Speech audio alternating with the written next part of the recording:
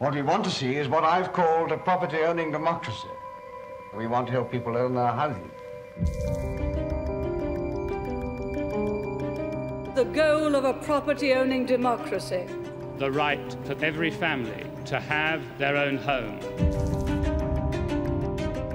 To increase home ownership by 1 million.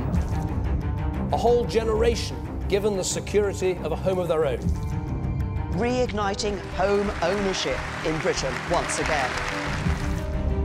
Giving millions of young people the chance to own their own homes. House prices have reached another all-time high. You'd hear a lot about people investing and saying, oh, that's just my pension. For someone who was trying to get on the property ladder, um, it made me quite angry. You had become a bit of a plaything in financial markets. Developers saw their profits soar and their share prices rocket. Investors and developers have got far too greedy. They've made far too much money out of people's homes. When I revert back to 2006, the idea you got to buy a home, push your finances to the extreme to buy a home, renting is a dirty word. I do look back with real anger.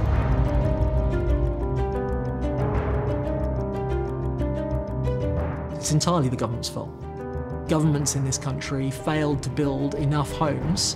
The thing that makes me angry is that it is a political choice.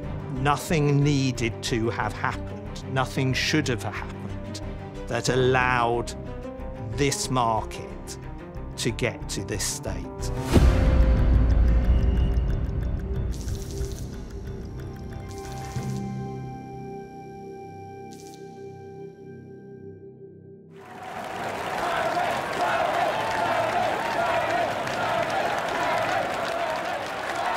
Accepted Her Majesty the Queen's kind offer to form a new administration of government in this country. Outside the Treasury, the arrival of Gordon Brown prompted the unusual sight of a Chancellor being cheered in the street.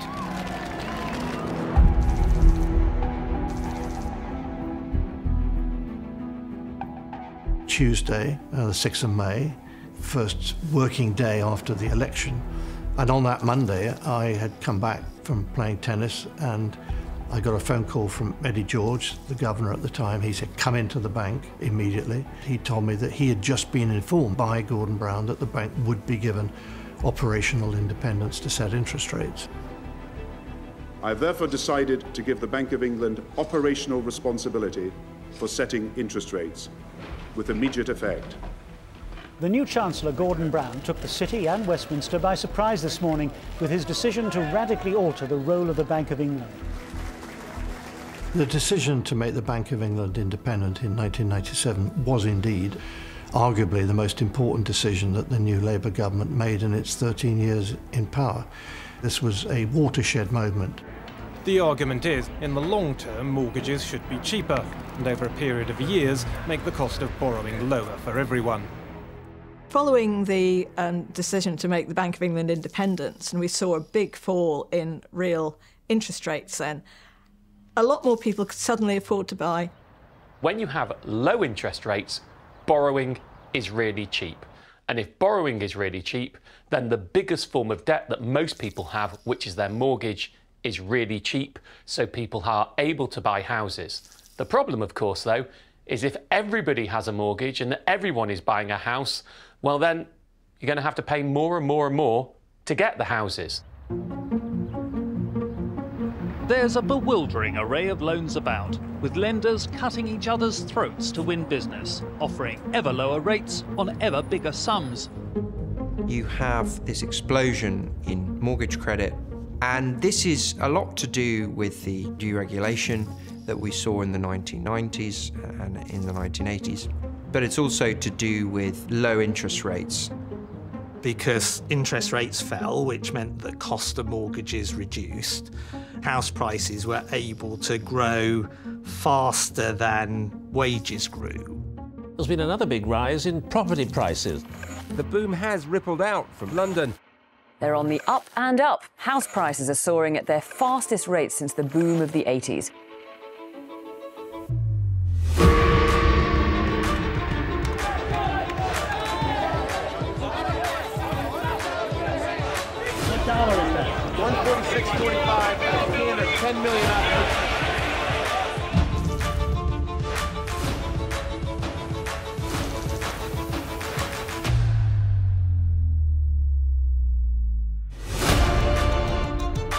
And so there was certainly a, a, significant improvement in the confidence of the rest of the world in how the UK was being run, and that led more people to want to buy assets in the United Kingdom.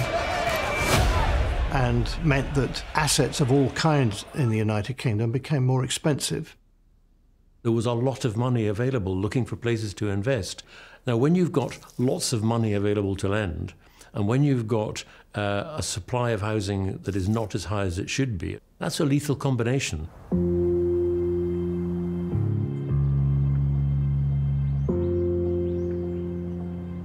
I had a look at a flat and it was quite small, you know, modest kind of as you'd expect for a for a first time place. Um, it had sort of a, you know, one bedroom. Um, but as I was leaving, the estate agent kind of let slip. He said, oh, well, there's actually an investor who's put in an offer on the whole house the traditional idea that most families could reasonably expect to own their own home, that actually was being overtaken uh, by a different kind of motivation, uh, that um, investing in property was better than investing in stocks and shares, um, in, in wealth creation.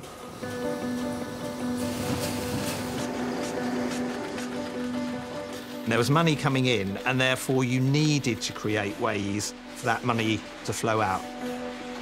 And clearly a substantial part of that was the buy-to-let market. It's quite simple. You buy a house, you let it out to tenants, they pay your rent, and this covers the mortgage. Tina buys houses like Imelda Marcos bought shoes. She currently owns not one, not two, not three, but 18 properties, and there's still no stopping her. And people were doing this, buying one, buying two, buying four. It was an arithmetic game. The TV programmes at the time really poured fuel on the fire and talked non-stop about the fact that you could be clever, you could buy a property, do it up, sell it for a lot more. I call them property porn because ultimately they were just everyone was watching with these lustful eyes about what they could get and what they should do.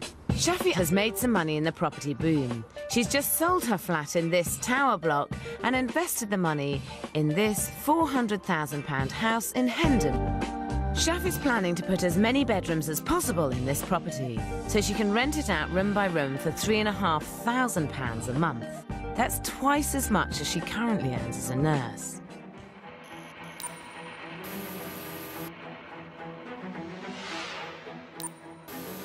The process of rising prices created a surge of activity that reinforced the growth of uh, house prices and created this, this spiral, this, this period of exuberance. But while everyone knew that it couldn't last forever, no one was clear how and when it was going to stop.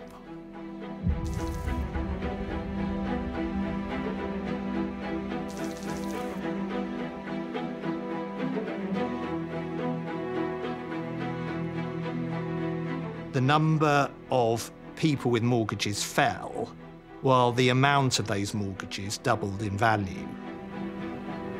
Credit was not going into creating more homeowners, it was just going into making homeowners need to borrow more money to purchase a house than they would have done previously. Property prices were rising all of the time, and that was always reported as a good news story. And that was really frustrating for someone who wanted to buy their first home. You would hear a lot about property investors, you'd hear a lot about buy to let, you'd hear a lot about people investing, and you know, uh, people saying, oh, that's just my pension. And there seems to be the sense that people could just keep using property as an asset, as an investment, without there being a knock on effect for people. And there 100% is a knock-on effect, especially when demand, you know, uh, was outstripping supply.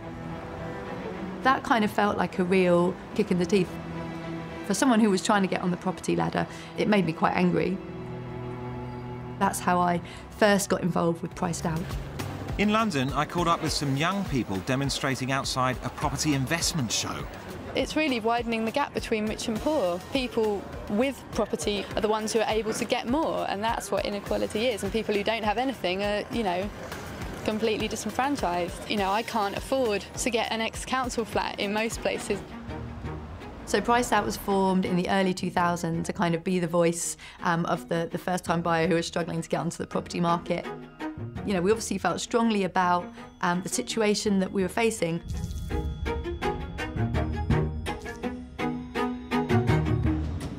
Central government had a role to really sit up and see the crisis that was unfurling before them, and 100% that was the opposite of what we, what we experienced. I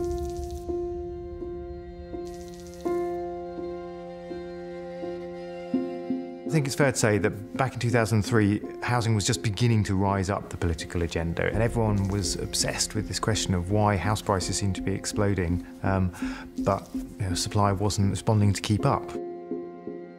And so you had this kind of powder keg that was really pushing prices up quite quickly. Prices were rising really quickly, but the supply of new housing wasn't and you hadn't got enough housing. So what was exercising the Treasury, if you like, was this problem. So the Treasury rang me up and said, would I like to lead a review on housing? Kate Barker is a top economist, asked by the Treasury to look at what's needed to take the heat out of the housing market. The Treasury asked me to. They asked us to estimate how many homes we had to be building to reduce that long-term trend in house prices rising relative to incomes. So we had a pretty heroic go at it. The report by Ms Kate Barker today concludes that the supply of new homes consistently lags behind demand and that the number of houses built in Britain, which are currently 175,000 a year, must rise substantially if we are to reduce house price inflation. The ballpark range of new private housing that we were talking about was probably around the 240 to 250,000 range.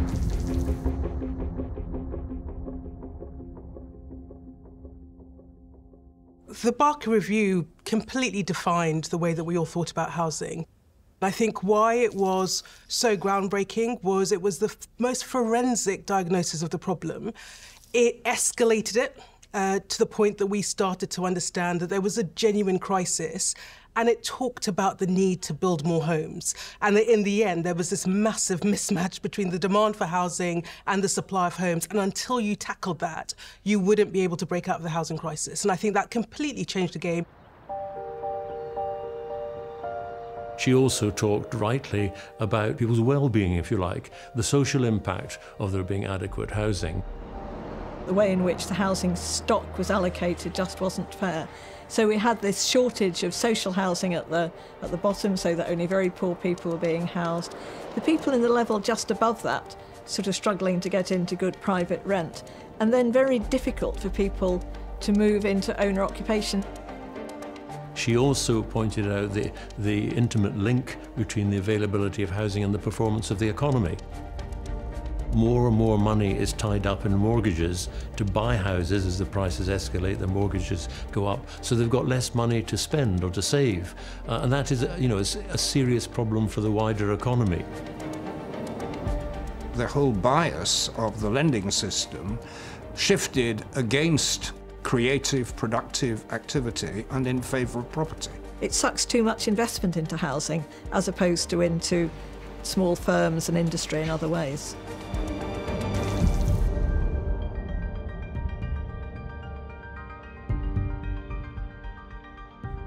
For England, we will raise the annual house building target for 2016 from 200,000 houses a year to 240,000 new homes a year. The housing stock did increase. In 2007, we built more houses than any time since the height of the Thatcher era. But it was quite clear to all of us uh, that if we were going to start to deal with the uh, problems being caused by the lack of housing, we needed to build much, much more. I often look back at this with a bit of a shudder. They really geared up to deliver more houses. If you look back at 2007 to 8, real evidence of greater delivery. And then, of course, the financial crisis came. It's official, property prices are rising fast. There's more evidence today that house prices are continuing to rise rapidly. The economy seemed to be booming. A lot of people thought that we were in, you know, wonderful period of everlasting expansion. But a lot of it hinged on the boom in the housing market. It was a time when if a bank glanced at you out of the corner of their eye, before you knew it, they would have given you a mortgage for £200,000. I mean, they were just spitting them out there with ease. Often 100% mortgages, 125% mortgages. And it was all based on this idea that you couldn't lose with property. House prices are continuing to rise strongly. Not only have house prices gone up again, but it's the biggest monthly rise for almost two years. They were being pushed up further by credit being pumped into the market by the banks and building societies. There appeared to be no limit on what they were willing to put into the market. For me, the total ambition is to make buying houses as easy as buying a carton of milk out of Tesco. It's about 15 times my annual income, I believe. Um, that just makes it completely unaffordable for me to be able to live in and around where I work. I distinctly remember one conversation with a chief executive of a building society who appeared fixated over success being the ability to lend more. The regulations were not tight at the time. They were simply chucking out mortgages to anybody and everybody because it was making them money to do so without any real strong, tangible form of responsibility. People began to create a myth within themselves that this process was undeniably good, that everyone was gaining from it. And if we were creating it, well, why not have a share of it? People would be taken out, all expenses paid, golfing trips, restaurants where people would literally order the largest lobster that they could see Here at the Building Society, they can't lend money fast enough. The explosion of activity, all the bad things that happened in the noughties. Even now, I burn with anger at the greed, the selfishness, the short termism. It was only a matter of time before something stopped the party I and I think some others were warning that, that we had something like a bubble in the housing market, which was a dangerous state of affairs. When I revert back to 2006, 2007, to the idea you got to buy a home, push your finances to the extreme to buy a home, renting is a dirty word, I do look back with real anger. Fears are growing that many people could be taking on too much debt. Appetite for borrowing is stronger than ever. The Bank of England said mortgage lending rose by a record £8 billion last month. The Bank of England, I think, needs to accept some responsibility. They knew what was happening. They were tracking flows of credit into the housing market. They publish statistics on this every month.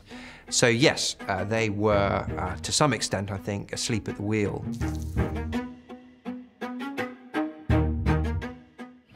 There are signs of trouble in the broader mortgage market. Foreclosures hit a record last quarter. There were a lot of mortgages that were lent out to people. They may not have had jobs, they may not have had any form of income whatsoever. Nevertheless, lenders said, well, interest rates are low, we can still make money off these people. So the house isn't a financial product, but the mortgage that you've taken out to buy it did become a financial product, which was bought and sold. You had become a bit of a plaything in financial markets. Right through the first half of 2007, those of us in the Bank of England were worried about the signs that we were seeing about excessive borrowing.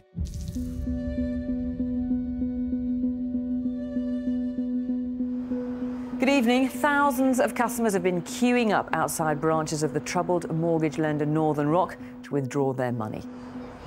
There were lines in Nottingham, Hull, and London. Nobody's given an absolute guarantee that the money is safe in this bank. I don't think we could have anticipated precisely the timing and the nature of the events that would have prevented it from occurring. but warnings we certainly wanted to give, and we did. Shares have plummeted around the world, billions wiped off their value. Central banks, among them the Bank of England, are pouring funds into financial markets. Mortgages are in short supply, and more and more people are falling behind with their payments, added to which every single day seems to bring a new piece of bad news from America.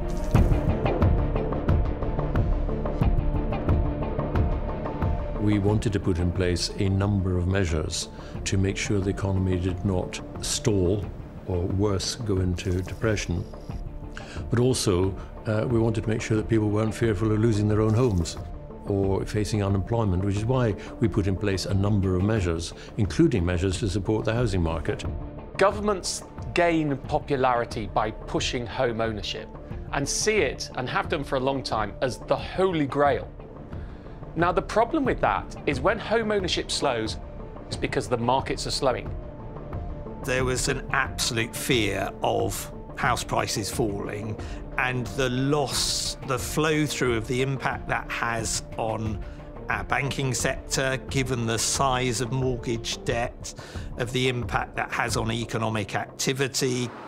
I'm off to Sussex to meet a couple who can't afford their new mortgage, and selling would mean losing money because of the collapse in house prices. They're desperate. I feel a bit my fingers have been burnt for something I haven't done. You know, I've just been happily paying my mortgage, and all of a sudden, we're in this situation, and it's quite harsh to take.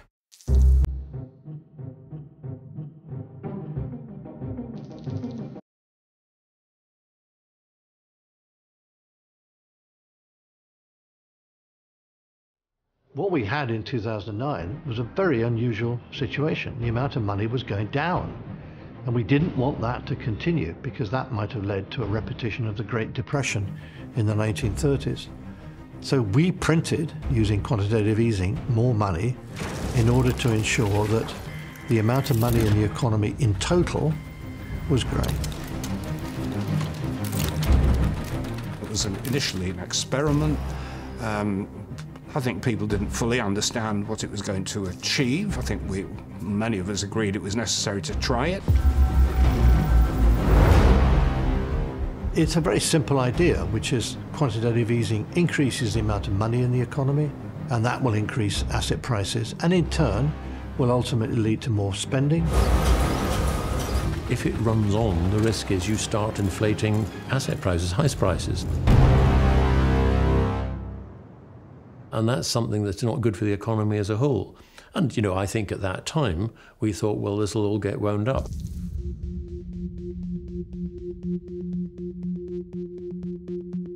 £300,000 could buy you a flat or a house at a push, but not in Belgravia. £300,000 is how much the average property in the area went up by last year.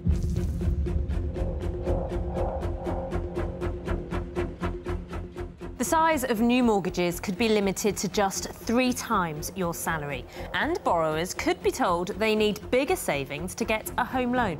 It's going to take us forever to be able to get a house, and the only other option would be to rent. I moved to London from Leeds in 2010 and I was really shocked by how high rents were. There was this sort of idea after the the financial crash that housing was more affordable, but that never found its way uh, to private renters. It, ne it never found its way to people on lower or middle incomes. I think the people that you know really benefited were people who had the money to come in and like buy up the now cheaper houses which ordinary folks couldn't afford still. The average first-time buyer will have to wait until they're in their 50s before they can even afford a deposit. One there on the right. What about young professionals who can't access social housing? We can't rent because the rents are too high and we can't get on the property ladder. Social housing was being squeezed, home ownership was being squeezed, and, and more and more people were being housed in the private rented sector.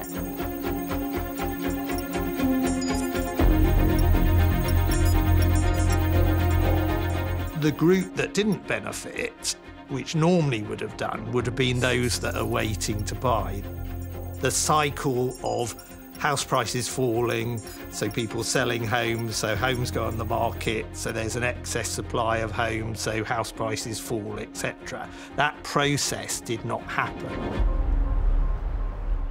The crash did bring a slight decrease in prices, but that still wasn't enough. And that's because the underlying issues didn't change.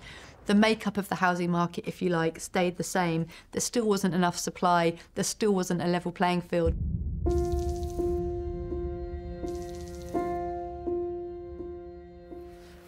I'm married, my husband is an accountant, and we have two children. We work really hard, and between us have a good joint wage. Yet still, we cannot afford our own family home. Well, Anna, this is one of the things that I, along with immigration actually, that I probably hear about more than anything else as I travel around the country. The house building industry has really not served us well in this country. We've also got to build more houses. I think there's no doubt uh, in my mind that we've got to change the planning system right now. 11 hours 40 minutes after the polling stations closed, it is a hung parliament. Mathematically, no party can now get an overall majority, and so there will have to be negotiations over what happens now about who becomes our next Prime Minister. Earlier today, standing by the front door of number 10, Prime Minister David Cameron and his deputy Nick Clegg shook hands. Mr Cameron said they were ushering in a new era in which the national interest came before party politics.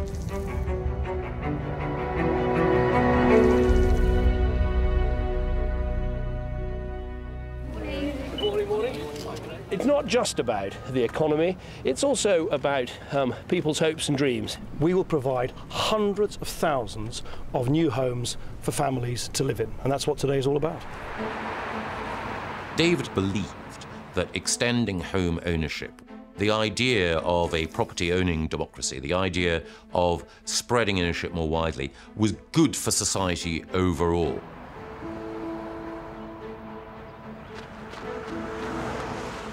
I was uh, heading up the city's policy unit.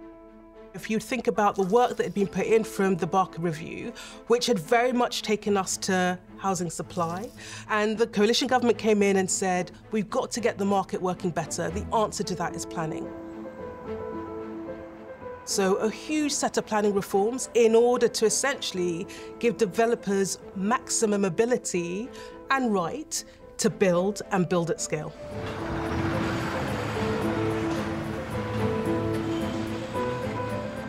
I was given a task to produce a national planning policy framework for the first time. I wondered what the best way to approach that uh, was. Miatta Fahnbulleh was the, the brilliant uh, official uh, who was uh, in the Cabinet Office. We were trying to essentially completely revise the National Planning Policy Framework. Now, this was a framework that ran into the thousands of pages um, that the government was trying to do a massive overhaul of to make it simpler, uh, to make it more digestible, but also to make it work in the interest of those that build. The key provision was that there was what we called a presumption in favour of sustainable development. The response, uh, I, I think, did take us all by surprise. This country is crawling with hysterical, nihilistic people. According to the coalition government, they include the members of the National Trust, Friends of the Earth, the Royal Society for the Protection of Birds, and the Bat Conservation Trust. These deranged organisations, that seems to be the judgment of ministers, are furious at plans by the government to allow concrete to be laid in the countryside. It's the most biased document I've ever seen. But it's not a planning document, it's a lobbying document. This is simply not true. If you read the document in detail, you will see that the protections read that it we've detail. enjoyed... Give me your for- I invite your, your, your viewers to, I'm, to I'm, look at it in detail. I- You will I- see I'm, that the I'm not a protections nihilistic, I'm not a nihilistic left-winger. I remember the response vividly uh, because I think when the National Trust mobilises, um, it sends terror through Whitehall and it certainly sends terror through uh, Conservative MPs.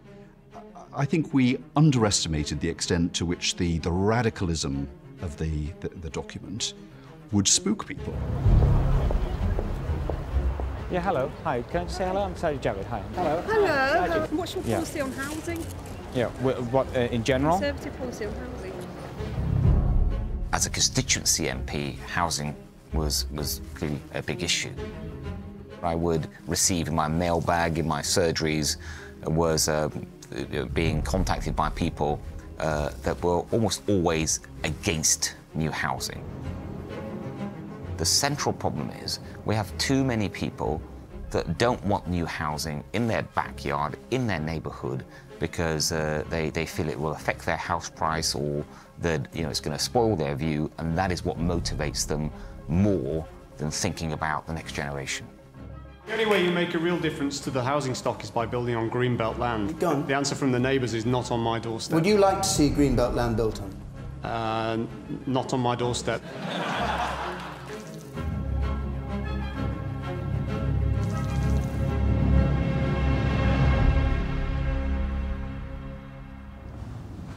I was giving a speech, and I was sort of summoned out for a call with the Prime Minister. He wanted to appoint me Planning Minister. I turned up at the department. Uh, Eric Pickles, who didn't know me particularly well, uh, and I think probably didn't have a huge amount of uh, sympathy for me, uh, viewed me with intense suspicion uh, as some narc who'd been sent in by the Chancellor to mark his homework. minister, Minutes now. Delighted, thank you, thank you. I love Nick very much, but I didn't ask for him. Um, and um, I think he found it very difficult. Idealism came up against the sheer practicalities of, um, of, uh, of the nature of politics. I took the view that I didn't have very long to get stuff done. We had two points we were trying to get across. The first point was not very much of England is built on, even though it doesn't always feel like that when you're driving down suburban roads. Uh, and then the second point we were trying to get across was that new housing developments can be great. My husband and I work as carers in the community, and we still can't reach, you know, like getting a deposit together for the mortgage, paying the monthly rent with four children. Your situation is is absolutely typical, I'm afraid, and it's, I mean, it's a huge national crisis. I think, uh, for my money, I think it's the biggest social justice crisis we have. Building on a few meadows outside Harlow is not going to cure the housing crisis. Um, th there are plenty of empty buildings, there's plenty of sites with planning permission existing which haven't been used yet. You know, home ownership sank by five percentage points in the last decade in England. The problem with housing in this country is Simon, again, how many homes do you own? Can I finish? This is, you know, how many this homes is, do you this, own? This, is not about I'm paying for your houses. Bloody hell. Now, fortunately, I had decided quite early on that the only way this was going to work was if I was willing to take an unlimited amount of heat. I remember uh, the headline of the, the front page splash of the Daily Telegraph Minister's War on the Countryside. It was exhausting. I mean, it was really, really exhausting. Um, but hey, you know, I was, I was young and, and ambitious. Well, it's a great thinker, is Nick, but he decided to announce um, a massive house building programme the weekend of the Conservative Councillors um, annual conference. So I spent quite a bit of my morning on the Saturday talking to him um, uh, on the telephone to see exactly what he was doing. I think that the difficulty that the Conservative Party has is that it weighs up against each other. On the one hand, the people that they know vote for them, who live in agreeable houses with views of green fields, and who might be members of the local Conservative Association, and then a theoretical group of people who are in their 20s and 30s. They have no idea how they vote. They rather suspect that they probably don't vote Conservative. I have reached a conclusion, which is that the Conservative Party is never going to do what is necessary to meet the housing needs of the British people. And it will never put sufficient weight on the interests of those who currently do not have a place to live.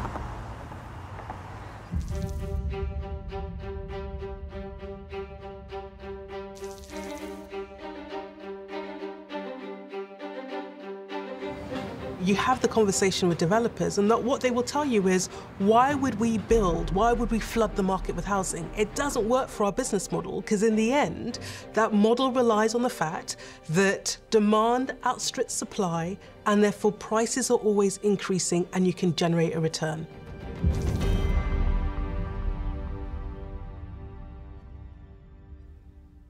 The business model of the house building sector has always been to drip feed new supply. You don't want to move into increasing uh, supply uh, and flooding the market. We noticed in Taylor Wimpey's 2011 report a line that would easily be skimmed over, but is really significant, um, and that is that their strategy was to prioritise margin over volume. And what that essentially means is that you grow the, the, the sale price, you grow the margin of profit on each home rather than commensurately building more housing. You're making your money through price increases rather than increased output. And that's really significant. That really, uh, really revealed the, the strategy. So what that equates to is that you can increase profitability by increasing the amount that you charge and the profit you can make on each home, rather than simply increasing profit by building a lot more.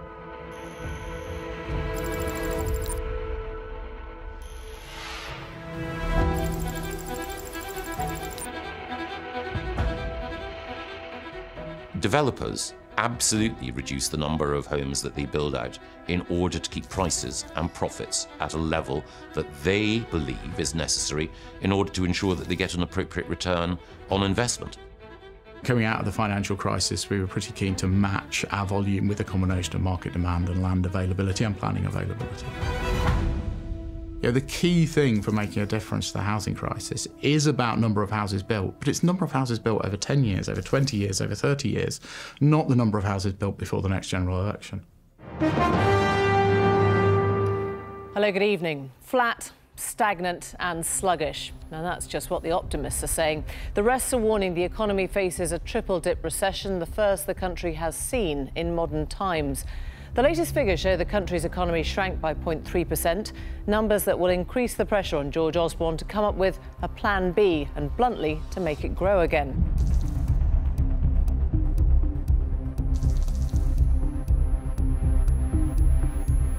we were in a situation then where first time buyers were effectively being shut out because they didn't have the 20% deposit uh, that would be needed to be able to get a mortgage to buy a property. I had many conversations with people in the industry uh, as well as with other politicians, and certainly the, the big housing developers always made the case that uh, we would get more houses built if the housing market was booming um, and if demand was strong. And that's why they favoured what were effectively sub mortgage subsidies to keep up demand.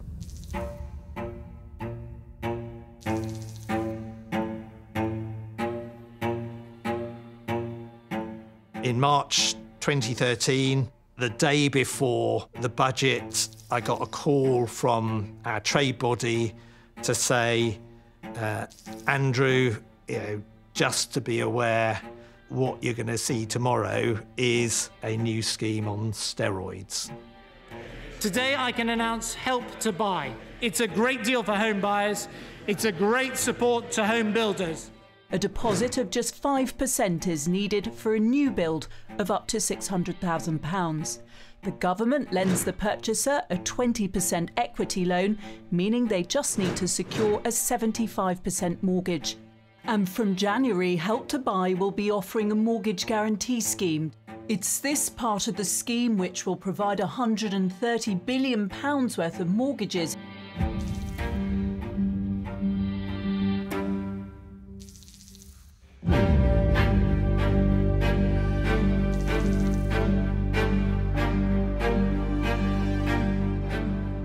We just really wanted to go, get out, get our own place, um, own our own property.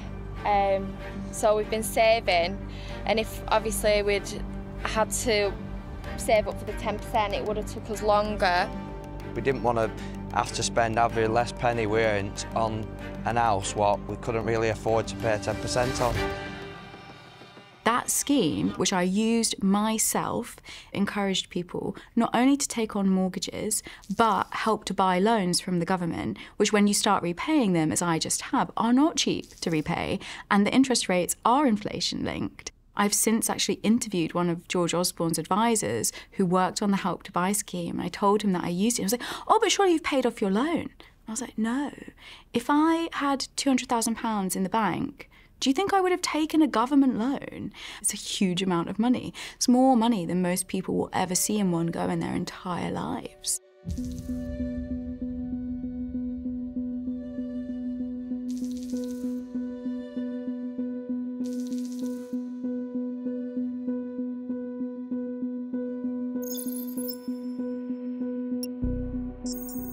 I think it's pretty clear that if you simply try to give people money to buy houses, then what you do is push up the prices.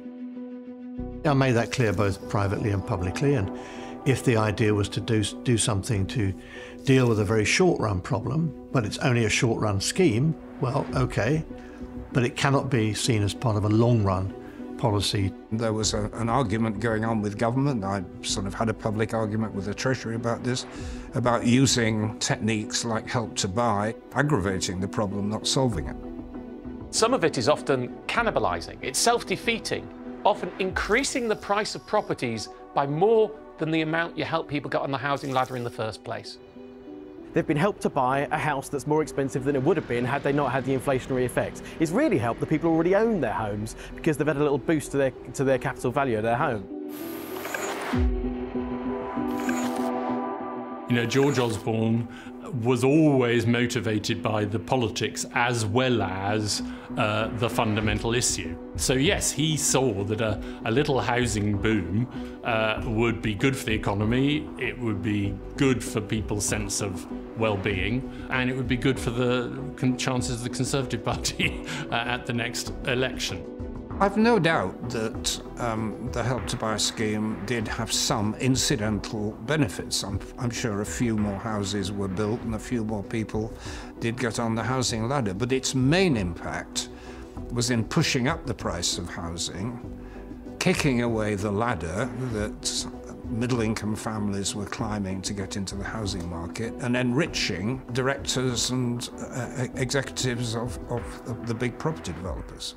Bovis has reported a steep rise in pre-tax profits. another upbeat set of figures from the housing industry. The UK's main house builders saw big profits this week. Big rises in profits at all the big builders. Some say it could be down to the government's Help to Buy scheme. You might remember that allows profit is kind of bursting into kind of new territory, if you like, to historically unprecedented levels. So prior to the, the, the financial crisis, house builders were generating around £2 billion of profit before tax a year. What we saw was by 2015, profit before tax for the big house builders was around three and a half billion.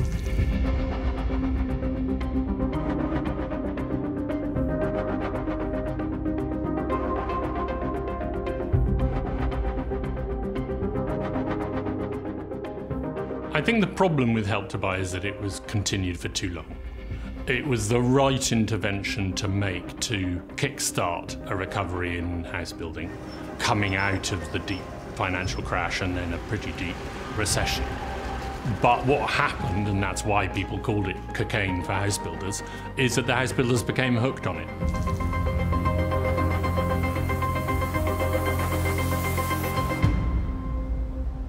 They are large asset managers, pension funds from other countries, and interestingly, they have shareholdings in multiple house building firms, some of them in almost all. When we started to look at dividends, piecing together the bits of information for each house builder. The scale of increase in dividends over this time is so extraordinary. We've maybe got this wrong, and so we went back just to, just as a check that we, we were correct, which we were.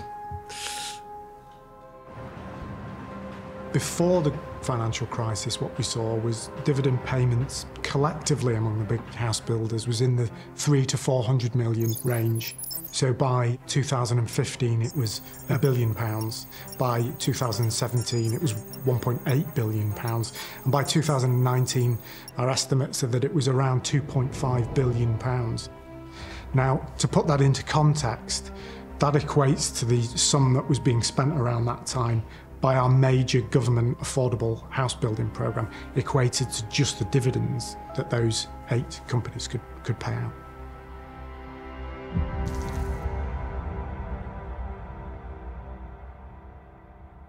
If your aim is to maximise shareholder value, then you look for the prime sites and, and you look for the houses which are going to accrue the better returns, which might be the more expensive end of the spectrum the impact of this on new home buyers is buyers are going to have to buy for over and above what they would have done pre pre crash.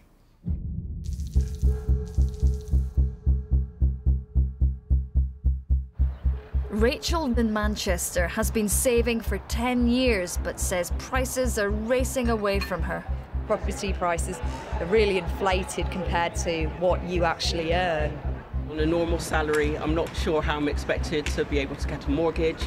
The property boom is now rippling far beyond London. It's just impossible, to be honest, to be able to get on the housing ladder. Of the most unaffordable places to live in the UK, around half are in the countryside. We would hear about people from the Midlands, from the West Country, from, from Scotland, from all over really. We would hear about people who were really struggling, you know, couldn't afford their own home and, and felt powerless and, and felt really cross about the state of things.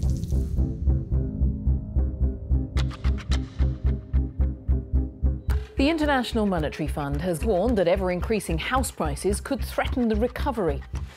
Every year, the IMF doctors the world economy, pops in for a home visit to check all's well. This year, there were warnings that the housing market presented a potential threat.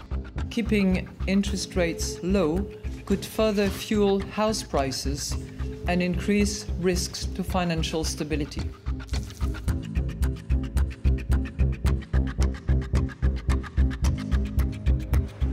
Everybody has got used to super low interest rates. House prices are so many times more than people's earnings.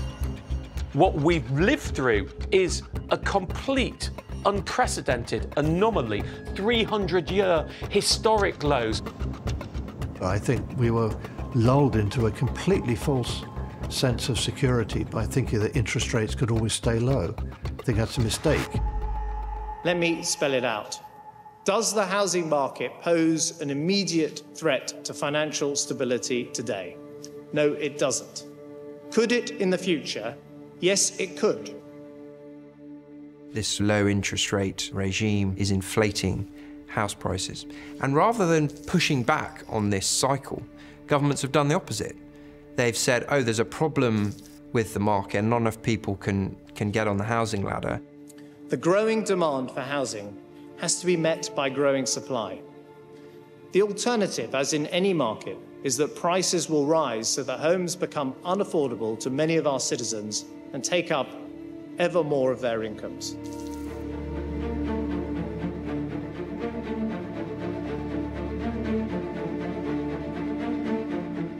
Local authorities in England can compel developers to build some affordable housing now, affordable means that they're within the reach of local people on average salaries.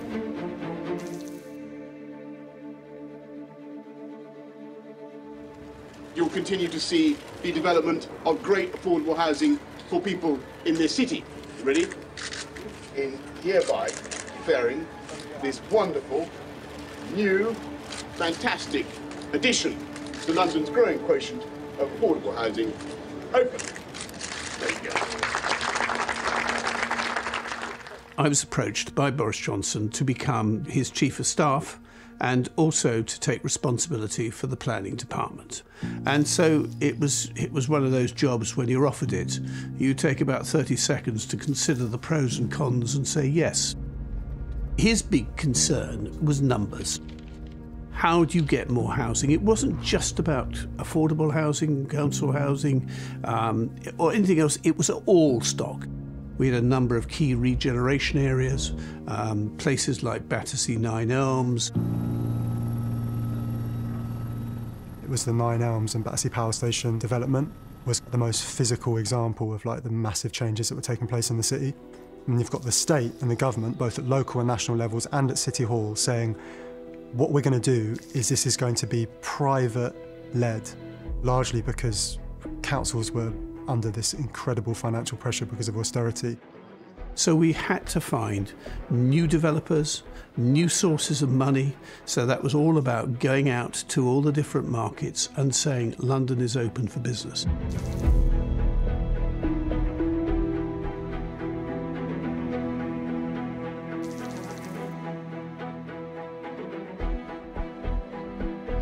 It's a place designed to attract the global community. The question, though, is whether this type of urban regeneration benefits ordinary Londoners. A private developer business model is to try and maximise their profit. When you ask them to deliver affordable housing alongside on the site, They get planning permission on a certain amount of affordable homes. But then they can turn around and say, oh, I don't think I'm going to make profit anymore. So can I cut back on the affordable homes or can I get rid of them altogether? Uh, let's talk about Nine Elms uh, for a second, uh, because I think it's a good example of the challenges that we were facing. You couldn't get there. I remember the early discussions. We talked to Network Rail. We started to think about extending the Northern Line. Now, the thing is, that was about a billion pounds to do that. And then we needed about a billion for the rest of the infrastructure that was needed. Now, when you've done that kind of sum, you haven't got a lot left for affordable housing. They're spending more than a billion pounds on restoring the power station itself. From Shanghai to Singapore, Battersea's just gone on sale around the world. A global marketing push launched by its Malaysian owners last month. I mean, people complain about the price of some of those properties. But I'm afraid if you're not going to sell a penthouse apartment for a few billion, uh, a few million, sorry, you're not going to um, be able to afford to build some of the other affordable housing.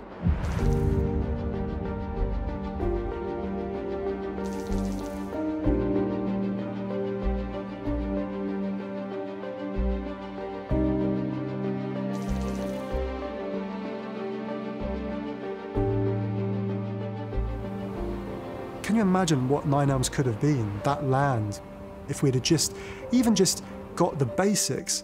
Think of all the good that could have happened. The heart's gone out of Battersea now. Very expensive, the property around here. People feeling squeezed out, and they are feeling squeezed out out of their homes, out of their areas, and they don't see long-term future for their children growing up. Did you ever think could have got some more affordable housing out of them. Why didn't we do that? Well, uh, you always ask those kind of questions. Did, did, did, did go hard enough? Um, that was always a judgment call. I'm sure we've got some of those a little bit wrong. I don't think overall we got it badly wrong. I think we got pretty much everything we wanted. The developers, they end up with all the power. It's weighted towards them, it's weighted towards their bottom line. Um, and that's what we saw historically. We saw time and time again during this period affordable housing numbers reduced.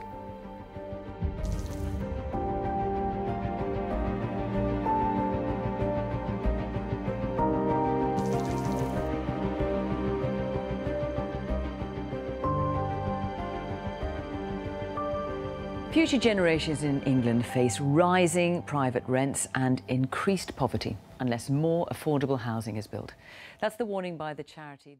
And in 2013 2014, Oxford didn't build a single affordable dwelling. Where are the affordable houses you're talking about? Because they're definitely not in Brighton, they're probably not in the southeast.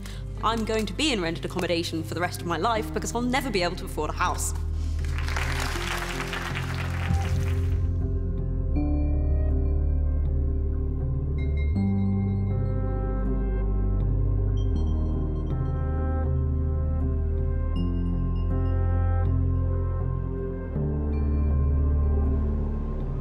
Business model of private sector developers is simply not set up to build lots of affordable homes. But both the Conservative Party and the Labour government under Tony Blair and Gordon Brown just didn't believe that the public sector could or should uh, be given sufficient funds to go on a major house building programme.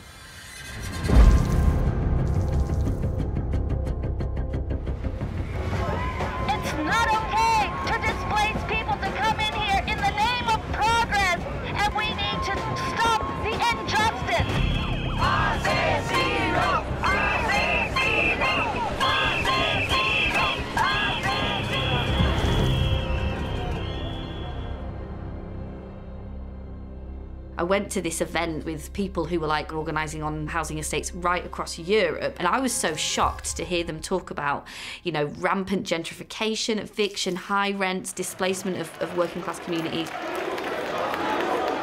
It was a real eye opener for me to understand that this wasn't just about a conservative government who were kind of pursuing these policies, it was much bigger than this.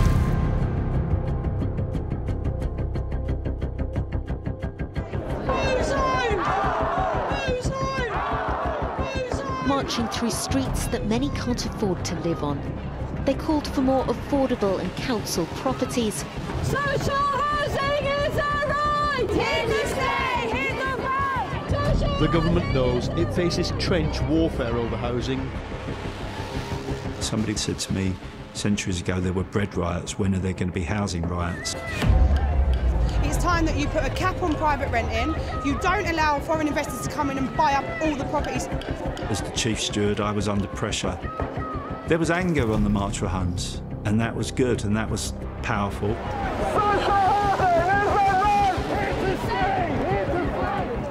The level of public support for what we were doing was just huge because people were living it. And if they weren't living it, then their kids were living it or their grandkids were living it. These private landlords are ripping us off. Something needs to be done about it. It's social cleansing at its very worst.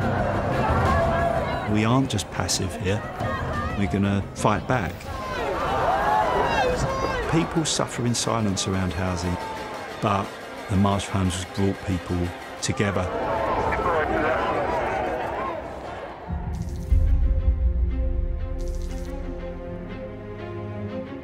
I've just had an audience with Her Majesty the Queen following the dissolution of Parliament. The general election will be held on May the 7th. What struck me going into the 2015 election as a person that was uh, leading off work on housing policy was we had a new generation of young renters uh, who weren't going to play by the old rules of the game. There was a big shift in the debate. I made the case often that the Conservative Party is ultimately doomed if young people can't get a place to live and develop a life uh, like their parents did. When there's an election, politicians always like to talk about housing and promise that they're going to magic up homes for people. But I think something else was going on. The housing crisis at that point was starting to get so bad that it could no longer be ignored. How about a Britain where a young couple don't have to dream of owning their own home, but can actually afford to do it? For so many people, the dream of home ownership is just disappearing into the distance. That's why we've got a better plan. The dream of a property owning democracy is alive, and we will help you fulfill it. One of the most fiercely contested elections of recent times has ended with the Conservatives on course to win a majority.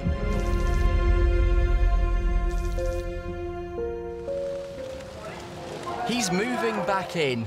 David Cameron and his wife Samantha have arrived back in Downing Street, knowing he has a second term as Prime Minister.